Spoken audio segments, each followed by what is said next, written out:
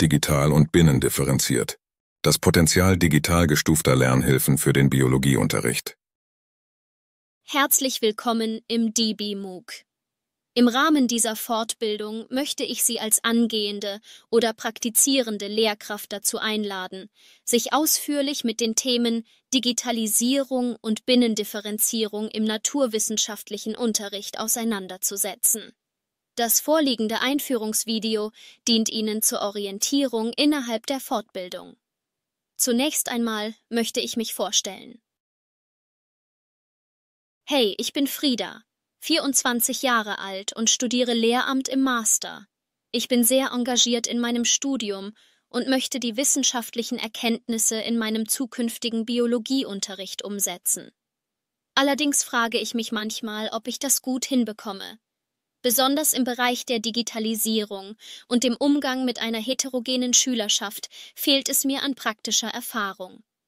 Deswegen kommt diese Fortbildung wie gerufen und ich freue mich darauf, dass Sie mich in diesem Prozess begleiten. Was erwartet uns also nun? Erst einmal möchte ich Ihnen die Struktur der Fortbildung erläutern. Im Anschluss daran haben Sie die Gelegenheit, die Kursersteller innen und das zugrunde liegende Projekt in einem Begrüßungsvideo kennenzulernen. Nutzen Sie hier gerne die Gelegenheit, sich ebenfalls vorzustellen und an einer Selbstauskunft teilzunehmen. Zu guter Letzt gibt es noch einige optionale Veranstaltungen, an denen Sie zusätzlich zu dieser Selbstlerneinheit teilnehmen können. Mehr dazu im Ausblick. Also, dann legen wir mal los. Hier sehen Sie die Modulübersicht der Fortbildung. Ich stelle Ihnen nun Schritt für Schritt vor, was Sie und mich im Basis- und im Aufbaumodul erwartet. Dieses Video und Lektion 1 dienen nur der Einführung. Die erste inhaltliche Lektion ist Lektion 2. Hier startet die Fortbildung mit den theoretischen Grundlagen. Sie können drei Lernvideos bearbeiten, die sich mit gestuften Lernhilfen und den Themen Heterogenität und Diklusion befassen.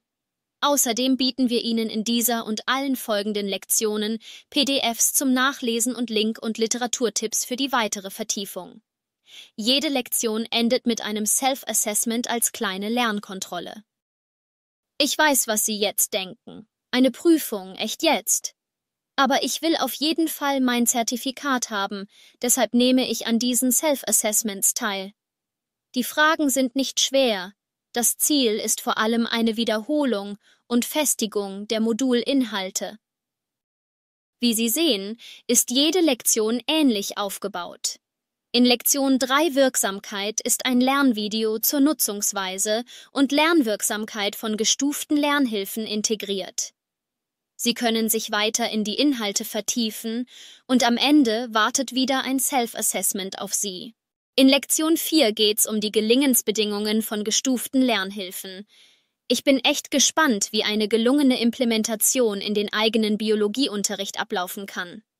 Für die Teilnehmenden der Fortbildung wurde ein Leitfaden erstellt mit allen wichtigen Informationen zu gestuften Lernhilfen, den Sie sich gerne abspeichern können. Neben den Literaturempfehlungen wartet am Ende wieder eine Lernkontrolle. Lektion 5 geht einen Schritt weiter und zeigt Ihnen, wie Sie gestufte Lernhilfen auch im digitalen Raum nutzen können. Dafür gibt es zwei Videos, in denen gezeigt wird, gestufte Lernhilfen mit Hilfe von Moodle und H5P oder mit QR-Lernhilfen einzusetzen. Keine Sorge, wenn Sie damit noch keine Erfahrungen haben. Uns wird in Lektion 5 erklärt, wie es geht. Nachdem Sie den digitalen Werkzeugkasten für den naturwissenschaftlichen Unterricht und die Literatur gesichtet und das Self-Assessment abgeschlossen haben, habe ich eine tolle Nachricht an Sie. Das Basismodul ist hiermit abgeschlossen und damit sind 70 Prozent der Fortbildung absolviert. Wie geht es weiter? Hier kommt nochmal die Modulübersicht. Sie haben also nun die theoretischen Grundlagen und wissen, wie man die einfachsten Implementationsmöglichkeiten umsetzt. Am Ende vom Basismodul sollen die Teilnehmenden sich ein Unterrichtsthema aussuchen und dann selbst eine Aufgabenstellung mit digitalen Lernhilfen erstellen.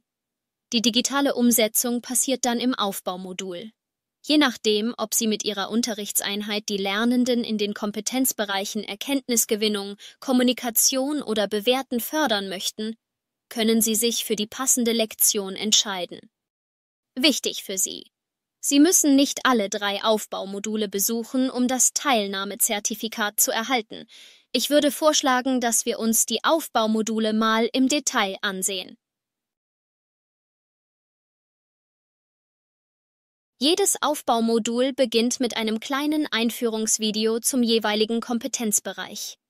Im Anschluss bekommen alle Teilnehmenden Beispielaufgaben präsentiert, die in dieser Lektion eine gelungene Unterrichtseinheit zum Themengebiet des Experimentierens mit digital gestuften Lernhilfen beinhalten.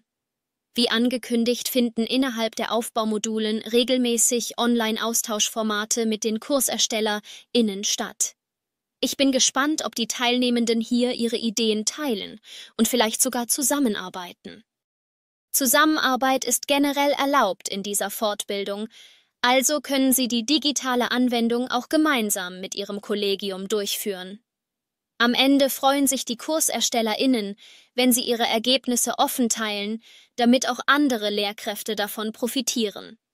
Zuletzt muss noch erwähnt werden, dass auch die Aufbaumodule nur durch bestehende Self-Assessments vollständig abgeschlossen sind. Das Aufbaumodul zum Kompetenzbereich Kommunikation ist im Prinzip gleich aufgebaut. Neben dem Einführungsvideo ist eine Beispielaufgabe aus dem Themengebiet Genetik, hier als Best Practice Beispiel in ein Video zur Gestaltung einer digitalen Unterrichtseinheit dargestellt. Wer noch weitere Anregungen braucht, kann in der Sammlung an Beispielaufgaben nachsehen. Im dritten Aufbaumodul geht's um den Kompetenzbereich Bewertung. Dazu gibt's ein Einführungsvideo und eine Übersicht zum VAGA-Modell. Das dritte Video beschäftigt sich mit digital gestuften Lernhilfen zur Unterstützung von Bewertungsprozessen anhand des VAGA-Modells. Die Beispielaufgaben zum Themengebiet der Bioethik helfen Ihnen dabei, den digitalen Gestaltungsprozess nachzuvollziehen. So, das war es zum Modulaufbau. Ich hoffe, Sie haben genauso viel Lust auf die nun bevorstehende Fortbildung bekommen wie ich. Bevor wir jetzt aber direkt loslegen, möchten sich wie versprochen die KurserstellerInnen kurz vorstellen. Film ab! Herzlich willkommen zur Lehrkräftefortbildung Digital und Binnendifferenziert, das Potenzial digital gestufter Lernhilfen für den Biologieunterricht. Bevor wir in die Welt des Biologieunterrichts eintauchen, möchten wir das der Fortbildung zugrunde liegende Projekt und uns kurz vorstellen. Diese Fortbildung ist Teil eines deutschlandweiten Projektes, welches durch die Europäische Union finanziert und vom Bundesministerium für Bildung und Forschung gefördert wird. Der Kompetenzverbund Lernen Digital hat im Rahmen dieses Projekts das Ziel, den Dialog zwischen Wissenschaft und Praxis für die digitale Transformation von Schule und Lehrkräftebildung zu gestalten.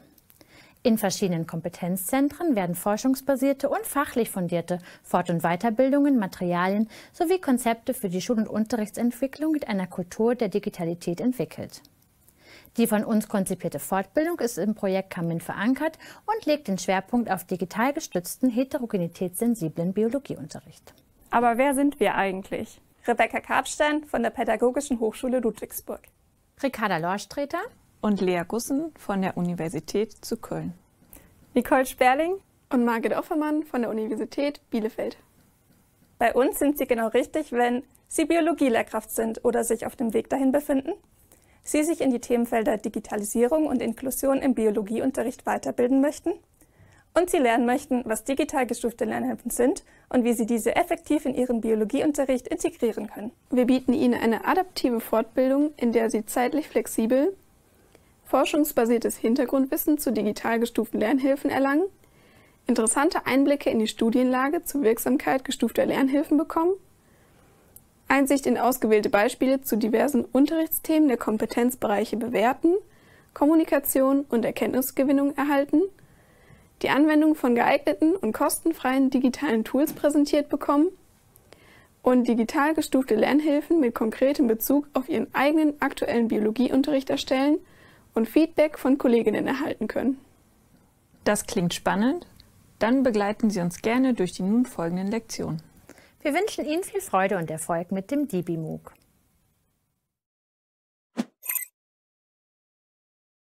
Ja, das klingt echt spannend.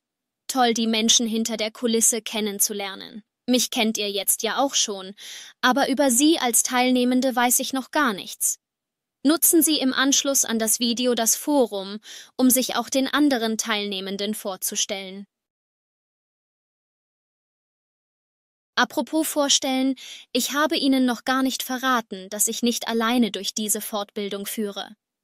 Für die besonders interessanten Themen habe ich mir ExpertInnen hinzugeholt, die mir beim Verstehen der Inhalte zur Seite stehen. Die drei ExpertInnen möchten sich kurz vorstellen. Guten Tag, mein Name ist Ann-Kathrin Neumann. Ich bin Professorin der Biologiedidaktik und forsche zum Thema inklusive Bildung im Biologieunterricht. Hallo zusammen, mein Name ist Luis Meyer. Ich unterrichte seit zehn Jahren an einem Gymnasium die Fächer Biologie, Chemie und Sport. Ich freue mich, gemeinsam mit Ihnen die spannenden Möglichkeiten der digitalen Lehre zu erkunden. Hallo, mein Name ist Sarah Maluk. Ich bin Sonderpädagogin im Fach Biologie und arbeite seit 20 Jahren im gemeinsamen Lernen an einer inklusiven Gesamtschule.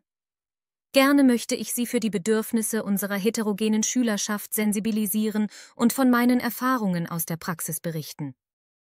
Schön, dass Sie alle dabei sind. Frau Professorin Neumann, Sie hatten noch ein besonderes Anliegen? Dies ist korrekt. Die besagte Fortbildung ist Teil eines Forschungsprojektes, wie bereits dargelegt wurde.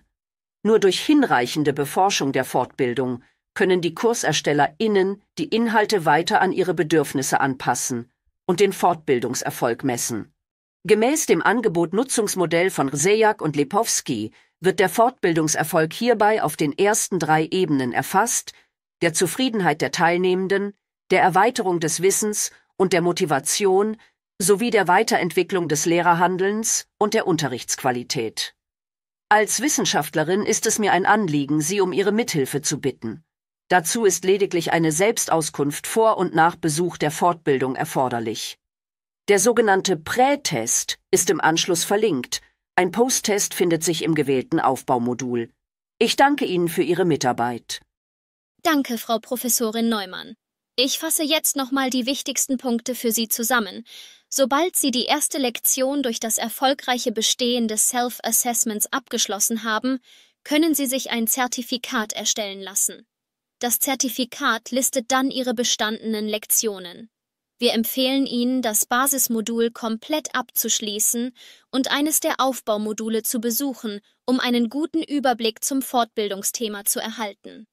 Vor Ausstellung des Zertifikats müssen Sie ebenfalls eine Evaluation des Kurses in Form eines kleinen Fragebogens durchführen. Kommen wir zum optionalen Bereich. Die Teilnahme an der Selbstauskunft ist freiwillig, genauso wie die Teilnahme an den angebotenen Online-Austauschformaten. Die Termine hierzu finden Sie anschließend innerhalb der Lektion angegeben. Diese können Sie sich bereits im Kalender notieren. Gerne können Sie die Materialien, die Sie im Rahmen der Fortbildung erstellen, über die Mundo-Plattform teilen. Schauen Sie sich das doch schon mal an. Ich verabschiede mich erstmal von Ihnen. Wir sehen uns dann im nächsten Video.